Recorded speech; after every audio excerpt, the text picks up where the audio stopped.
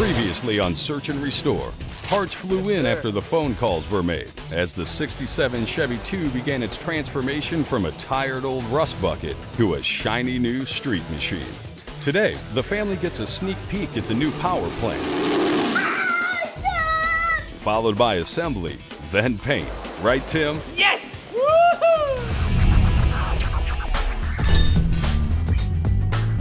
It's been a busy two weeks on the Search and Restore set, where a lot of progress has been made on our first project.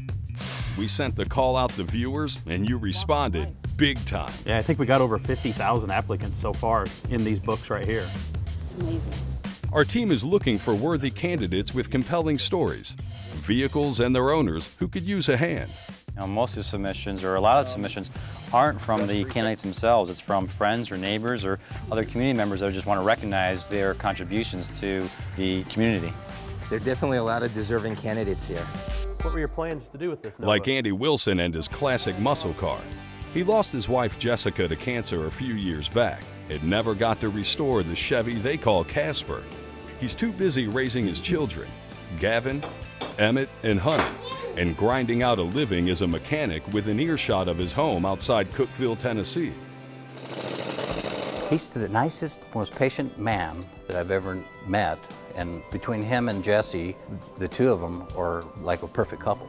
And when she was going to leave, she was worried about how it was going to work out with him, being the, the sole caregiver. With the help of both sets of grandparents, the family has persevered, and their family heirloom is in good hands too. Hot rod builder Tim Strange is steering this ship. Anybody feel like we're just going in circles? He and his cast of characters know the pressure's on to build a reliable and safe muscle car for the Wilsons, but not without having a good time doing it. That's awesome. Tim's a nice guy. He's a good dude. He's a nut. He's definitely a cut up, and it keeps us laughing, which is good because we're under a lot of pressure here. But that's all right. There's some southern t- acting guy. I got some pliers. I think you call him Tommy. Pliers. In the right order. Kevin from Trucks is sweating. I've never seen him sweat. What? Look at this perspiration. Rick is like just a stand-in. Hey, Tim, did you order an assembly manual for this thing? I don't think he's ever had a screwdriver in his hand. You know, you got guys running around with hair spiked up to here. you got other guys that are just, you know, talking about moonshine. Don't use that. Please do not use that. It's just, it's a whole different world some days. Even though we joke around a lot, all these guys are really hard workers, know what they're doing. We've had a blast, we've pitched in, and we're really building a cool project. Our Loctite build team have brought their own special set of skills, including marketing manager Karen Verosky. Yeah, try to stay on that line. Karen, by trade, is a fine arts specialist. I wanted to sculpt uh, big sculptures out of metal and uh, went to art school. One little thing unique about her is that when she was a senior in high school, she won the Connecticut Regional Welding Championship. It's gonna be a angled weld. I I haven't welded uh, a lot over the last uh, couple of years here in, in my marketing role, but it's coming back to me. It's like riding a bike. Her enthusiasm, as you see here at the build, right on. Yes. How's that? Yeah. translates back to the office as well. She's very enthusiastic about engaging with our customers and helping them uh, with the Loctite products. She's doing really awesome. It's like a stack of dimes through there. Um, this is a really great experience. Glad to be here. I think it's going well. I did do a lot of MIG welding on my dad's Model A, and if there's one thing I can tell all the dads out there, and, and Andy as a, as a single dad, don't be afraid to involve your daughters in your projects because uh, it's, it's time spent with your kids that you know is valuable, and I, I really appreciate all that time that I had with my dad doing that. Coming up, trouble on the engine run stand. And later on, Strange is no stranger to a paint booth. Stay tuned. Day 9 on the Nova build, and the floor pans the guys ordered a week ago still aren't here. Par for the course when attempting to restore a muscle car on an incredible four week deadline. Tommy's cutting some more cross braces, getting ready to weld them in the car. Once those are in there, we're gonna start plasma cutting the floor out so we can drill some spot welds. In the normal build order, you would put the floors in first. But since we had to wait, we couldn't stand around and do nothing, so we had to do stuff out of an extreme order what we would normally do. So we kind of rolled the dice, did some stuff before the floors, and it looks like it's gonna work out okay for us. The floor here? Woohoo! Who wants a hug?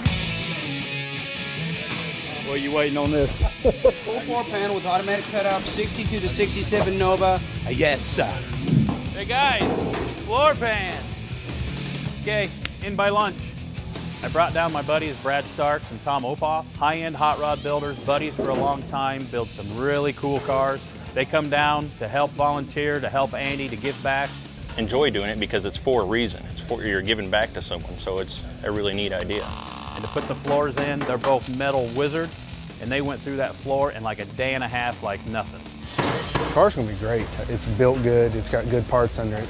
It ought to last a long time. There's still a lot to go, a lot of work, but you've got a good team, a lot of good people helping, so I think it'll move on pretty smoothly, probably as smoothly as it can for the time period. Not only volunteers, but companies have really stepped it up, donating their products and services to Andy's Nova. Lindsay and Kevin from Nitro Plate dropped by with our headers and exhaust system, now sporting their highly polished aluminum ceramic coating. Oh yeah. They just come out of the oven, they're still warm. This stuff can be used on everything from intakes to wheelie bars, but the main goal for these two hot rodders was to simply lend a helping hand. When we heard what you guys were doing for Andy and his family, we just wanted to come out and help out with the ceramic coating here at Nitro Plate. And anything you guys need, we're here. Just give us a call and we'll take care of you. Thank you. Thank you very much. On the other side of the shop, the team is connecting the 383 to an engine run stand in hopes of firing it up by the end of the day. Too many Chiefs, not enough engines. We got one engine. You can tell that these are trained professionals. They're speaking that code. Yep, up, no, yep, uh-huh, right there. Oh, yeah. No, no, to the left, come up a little bit. Oh, oh, oh, right there. See, you thought I was kidding. Try it again. Yeah. As professionals, our guys know that things don't always go right the first time, or the second time, or the third time. But for Andy's sake, we're gonna keep on trying. Damn, I was awful hopeful. Bad starter. Problem solved. When we come back, more goodies arrive as the volunteer spirit spreads throughout the aftermarket community. Plus, the Wilsons drop in for an update on Casper when Search and Restore continues. Back at the shop, some final masking is done before the car rolls into the prep booth for sound deadening and undercoating. This is the stage of the build where the mechanics say the hard work is done, and the paint guys say it's only the beginning. And here comes more sand. Just mixed up some lizard skin, poured in the cup, put a couple heavy coats on there for sound deadening and heat insulation. Earlier, Wayne and Pam McGriff stopped by. They own M&M Hot Rod Interiors out of Holly Pond, Alabama. Theirs is a full-service custom upholstery shop. Not only have they earned quite a reputation nationwide, they also created this awesome black leather interior for PowerBlock's very own Red Sled. But today, they find the interior for Andy's Nova to be a lot less of a challenge. This is just basic trim work. It's not like custom making seat covers or anything like that. That takes days where this takes just a few hours. Though this may be easy, the M&M team still has a trick or two up their sleeves to improve on the seat's original design and construction. I had him put an extra layer of padding on the back seat because these kids will jump all over it and that's what kids need to do. You know, they need to they need to play and, and uh, enjoy it. One delivery we couldn't wait to get our hands on was all the chrome work from Steve Tracy and his artisans at Advanced Plating. Bumpers coming out. They produce some of the finest chrome work in the nation. And what's nice is his shop is just around the corner. Now, plating on this level is far more than just dipping a part in the chrome tank. Steve's team does complete restoration work on all kinds of metal. So what the customer gets back is not just a shinier version of their original part, it's a completely restored and freshly chromed piece. Yeah. That is beautiful stuff, Steve. You can tell the sign of a good chrome shop when you run your fingers along the edge of a bumper. They not, fini- not only finish the front, they finish the edges too. Look at that, how nice that is. Now, it's not just the big parts. Even the smallest details all get the advanced plating treatment. And Steve realizes his contribution is not just about building a very nice street machine. There's a lot more to this than just chroming parts. The plating business has been very good to me, and this uh, allows me to actually give back to somebody well deserved. You know, this guy's going to be able to hop in this car, load up his three kids, drive down the road, and the world's going to look very promising. Hey, Andy, you there? Yeah, I'm here, Tim. I see you got all the kids today. I do. I got a circus. It looks like you fed them sugar for breakfast. Not much, just like half a bag. Are you guys ready to see the car? We can give you a sneak peek. I want to see Casper. Can you see that? Nice. Look, it's our car. What'd they do to it? We've been working really hard on it, and we've had to use the bake system in the paint booth, and I think we might have had the heat turned up just a little too high. I don't know. Is there any way to make it bigger? We can maybe put it in a stretcher and pull it back open. Okay, Andy, we know you were wanting to put a V8 in that car, but we did a little research on the VIN when we were tearing it apart that we know that it had a, an inline six in it originally. So right. we thought maybe we'd put that back in there, and we didn't care what you thought. We got it on the run stand. It should be a nice, quiet, go to church, go to the grocery store type of car. See, I think you'll be really, really happy with it. But we do are going to let you hear it run. Hey, do you guys want a six cylinder in our car? Or a eight cylinder? V8. I want a six nine cylinder. 69. What? Six nine cylinder. Just tell them a six cylinder? Nah, it's not gonna work.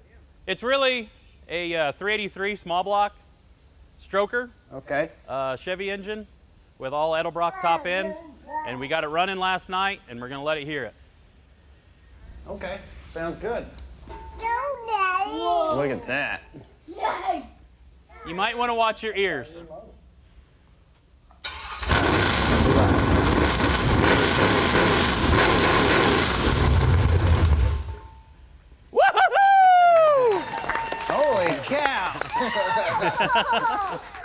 So I think you're going to be really happy with the performance of this motor once you get it in the car.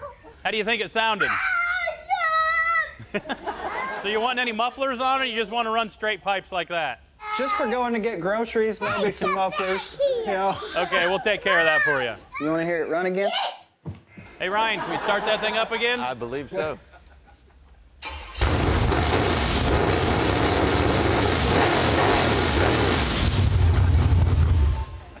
That's just awesome, isn't What do you it? think about that? That is awesome. I did it too. That is awesome. We're, we're glad you like the way the motor sounds. We're going to go get back to work, and we'll see you when you come pick it up. Okay, that sounds great, man. Thanks, guys. See you, Andy. Later, man. See you guys.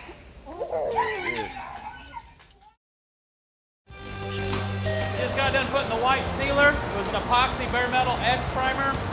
Now I'm getting ready to put the white color on the first time around all the jambs, a little bit around the trunk, firewall, and everything. I got some DuPont ChromaPremier I'm getting ready to spray down. Day 13, and with all the jambs painted and cleared, the Nova can Start hanging all the body panels on. can finally go together for good. Fill the gaps back right. Okay, this is kind of a pivotal moment. See the new subframe go in the firewall. It's looking like a brand new car. Since this is the last time these parts will go on, we've really got to pay attention to the details.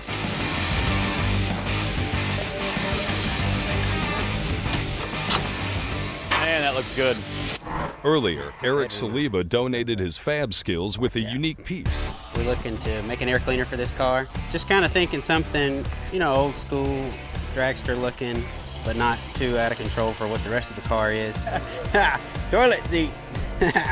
first things first, they got to make a wood buck in order to make the top and bottom panel and get a radius around the edge. We need about three and a half inches tall, so I use two three-quarter pieces and a quarter piece. Stack all that junk up into a big sandwich and we'll have us a buck.